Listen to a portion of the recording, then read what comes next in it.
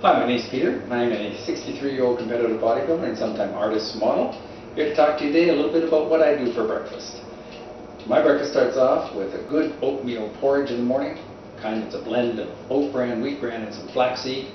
Mix it up, put it in the microwave for two minutes. then I follow that up with some protein. For that I use egg whites, stir them up, put them in the microwave for two minutes and 30 seconds, and in four and a half minutes you got the best breakfast going. Eat that breakfast every day, couple that with a little bit of exercise, and you too can be a model. And remember, if the label isn't authentic, neither is the product.